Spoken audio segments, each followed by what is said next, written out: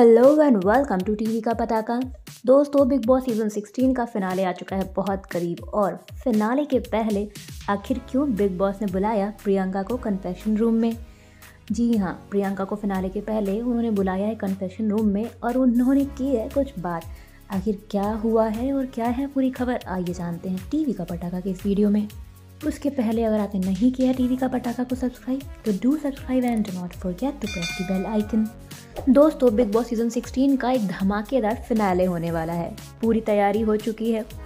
पूरी प्लानिंग भी हो चुकी है, लेकिन आपको जानकर हैरानी होगी कि प्रियंका को बिग बॉस ने कन्फेशन रूम में बुलाकर बड़ी हिदायत दी है।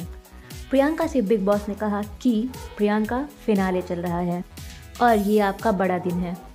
बिग बॉस ने प्रियंका को साफ़ साफ़ कहा कि हमने शो में कई बार आपको ये कहते हुए सुना है कि बिग बॉस आप अनफेयर हैं। आपने गलत करा, लेकिन कहीं ना कहीं जीतता वही है जो फेयर होता है। शो में वही आगे जाता है जो फेयर खेलता है। हम हर कदम पर फेयर रहें, लेकिन आपको अनफेयर लगते रहें। और ऐसे में आज वोटों की गिनती पूरी हो चुकी है। सबसे ज़्यादा वोट किसी तीन कंटेस्टेंट को ही मिले हैं। और हो सकता है उसमें आपका भी नाम हो। पर आज आप यकीन मानिए, प्रियंका, आपको ये कहने का मौका नहीं मिलेगा कि बिग बॉस अनफेयर है। बिग बॉस ने कहा कि प्रियंका आपकी जितनी भी क्लास लगी है, जितनी भी डांट पड़ी है आपके पूरे सीज़न में, पूरे घर में, मेरे द्वारा और सलमान द्वारा, उसके लिए बिग बॉस माफ़ी चाहते हैं। लेकिन बिग बॉस आपसे वादा करते हैं कि बिग बॉस के घर से बाहर जाने के बाद आपकी ज़िंदगी, यानी प्रियंका, आपकी ज़िंदगी बहुत खुशनुमा होगी। प्रियंका, इस घर में आपको जो भी सीख मिली है, उसको अपने साथ ज़रूर रखिएगा।